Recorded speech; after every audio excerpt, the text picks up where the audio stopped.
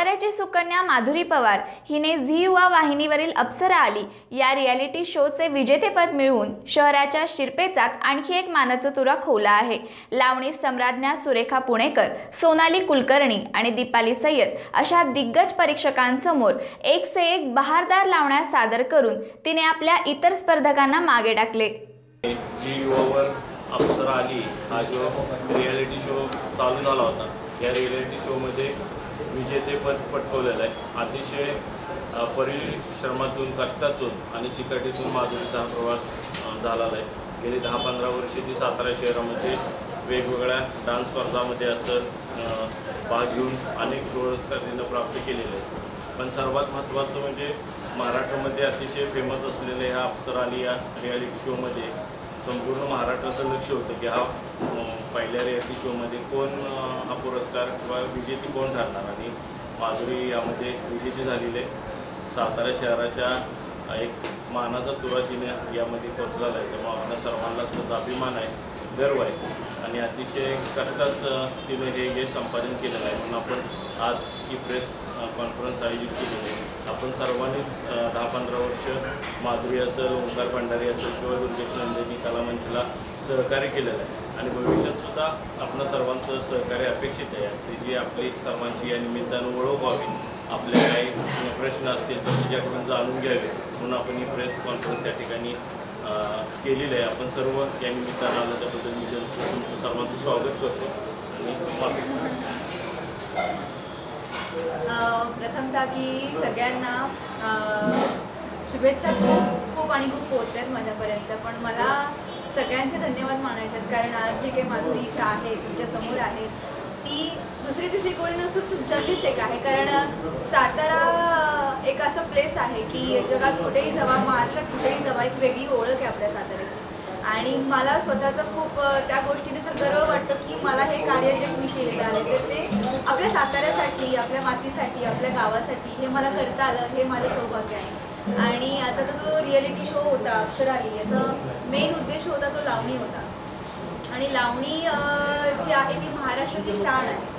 आणि आपल्या महाराष्ट्राची शान जी आहे ती जर मेंटेन करायची असेल ठेवायची असेल आणि त्याच्यासाठी जे कष्ट आहेत कारण लावणी जी एक मातीतली कला म्हणतो आपण की जी फार अगदी लहान मुलांपासून अगदी ज्येष्ठ नागरिकांपर्यंत माहिती आहे. पण आत्तापर्यंत तिच्याकडे बघण्याचा जो दृष्टिकोन आहे किंवा जो विचार करण्याची प्रवृत्ती आहे ती मनातून खूप सुंदर आहे नो डाऊट बट जे आपण रियालिटीमध्ये म्हणतो की वास्तविक जे सत्य असतं ते सत्य थोडंसं चेंज करायचं होतं बदलायचं होतं.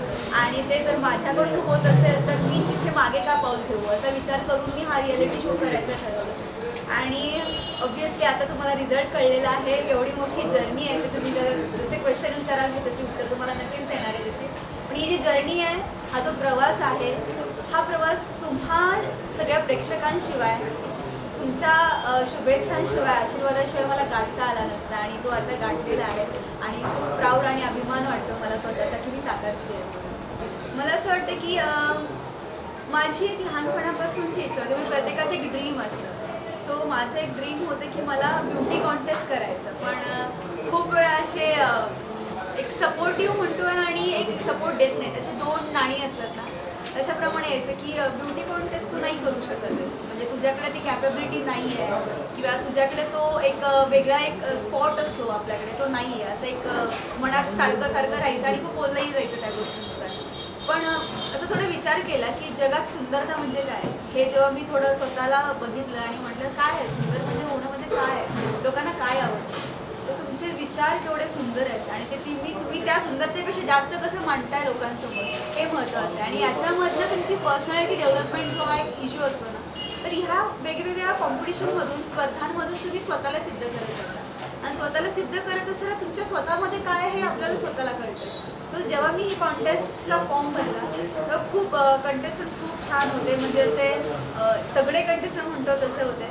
आणि त्याच्यामध्ये आपला टिकाव होईल का नाही हे पण मनामध्ये भीती होती. पण जेव्हा हा जो एक जर्नी होती याची ब्युटी कॉन्टेस्टची तर एक मनात विचार आला की नाही आपण हे हे पण आपण करू शकतो. आणि नाही तर नाही सफलता. आपल्याला एक प्रवासाचा एक अनुभव म्हणतो की अनुभवातून खूप साऱ्या गोष्टी शिकता येतात. आणि त्या जेव्हा मी एंटर झाले सो एंटर झालं झालं ते होतं एक तुमचं कॅटवॉक कॅटवॉक म्हणजे काय हे सुद्धा मला माहीत नव्हतं मी फ्रँकली खरंच मला माहीत नव्हतं की कॅटवॉक म्हणजे काय आहे. तुमचं चालणं काय आहे? तुमचं बोलणं कसं वाटतं? लोकांपर्यंत तुम्ही कसं पोहोचू शकता? तुमचे विचार कसे मांडू शकता? हे इम्पॉर्टंट असतं तिथं. आणि जेव्हा तयारी सुरू झाली आमची आणि मला तयारीला सुद्धा दोन दिवसच देता आले कारण एक दहा दिवसाचा पिरियड होता पण माझे शोज इव्हेंट कारण मला माझी फॅमिली चालवायची आहे शिक्षण सुरू आहे कारण मी एम बी एला असताना. सो ह्या सगळ्या गोष्टी करताना थोडंसं वाटत होतं होईल की नाही? पण एकदा जो प्रोग्राम सुरू झाला तो दिवस होता आणि सुरू झाला तेव्हा फर्स्ट एंट्री मी मारली तो ट्रॅडिशनल राऊंड होता आणि मी खूप वेगळं काहीतरी करायचं होतं. कारण ट्रॅडिशन म्हणलं की आपण म्हणतो की आता जे साडी म्हणा किंवा घागरे असं असं असं सगळं सुरू होतं. पण मला ते करायचं नव्हतं. तुम्ही एखादा पीक बघा त्याच्यामध्ये माझा तर तो फार ओल्डिश आहे. भारतात ट्रॅडिशन म्हणजे फक्त महाराष्ट्र नाही पूर्ण भारत आहे. आणि भारताचं कल्चर हे बाहेर किती आवडतो लोकांना याची खूप क्रेज आहे. त्यामधून एक शोधून काढलं मी. की एक आदिवासी जो म्हणतो तेच खरं आपलं ट्रॅडिशन आहे. कारण त्यांनी जेवढं निसर्गाला जपलं आहे तेवढं आतापर्यंत कोणी जपलेलं नाही आहे आणि तो एक इश्यू घेऊन मी त्याच्यावर तो गेटअप तयार केला आणि तो माझा फर्स्ट एंट्री लुक होता. तो पूर्ण प्रेक्षकांना खूप आवडला. म्हणजे पूर्ण त्या ऑडिटोरियममध्ये जेव्हा मी एंटर झाले तेव्हा त्यांना असं वाटत अरे बरं थोडी सुंदर मुलगी येते आपल्या समोरून. असं वाटलं ते. आणि अशा प्रकारे ते सुरू झालं. आणि जेव्हा रिझल्ट अनाऊन्स झाला म्हणजे आम्ही असं मुठीत घेऊन होतं की काय होतंय काय होतंय. आणि जो रिझल्ट अनाऊन्स झाला तेव्हा माझं नाव घेतलं गेलं.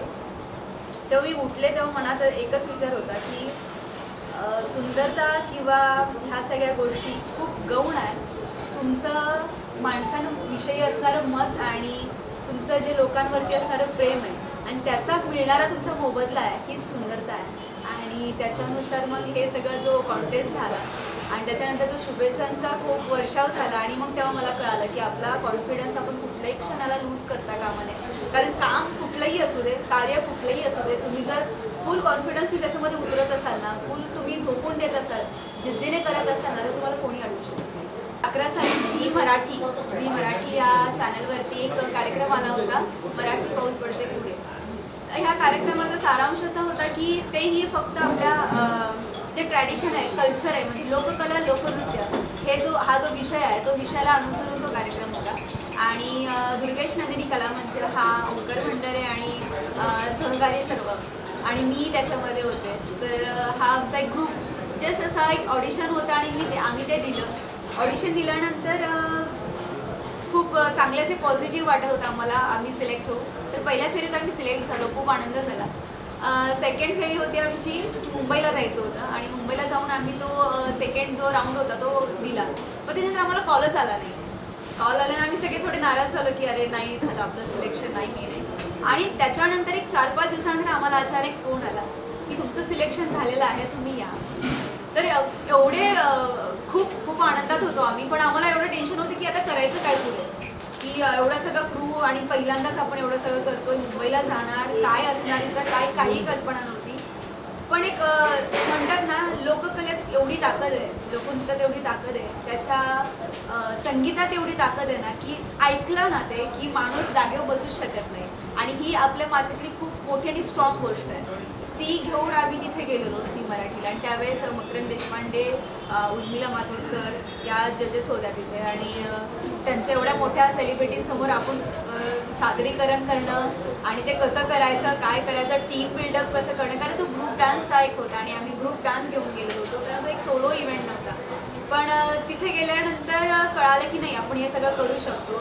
आणि एक टीम वर्क म्हणतो आपण कारण सगळ्यांनी मिळून कार्य होतं आणि खूप चांगलं चांगल्यारीत्या ते प्रेझेंट पण झालं. आणि अशा रीत्या हळूहळू हळू सगळे राहून आम्ही पुढं सरकत सरकत गेलो.